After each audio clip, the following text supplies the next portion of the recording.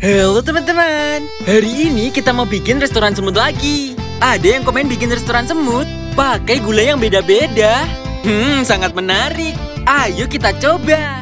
Kita siapin tempat restoran semutnya dulu. Nah, kayak biasanya kita tulis restoran semut. Res, resto, restoran semut. Restor N karena ini buat semut. Kita bikin empat meja. Satu, dua, gratis. Nah, meja pertama kita kasih gula pasir. Meja kedua kita pakai gula batu. Terus yang meja ketiga kita pakai gula merah.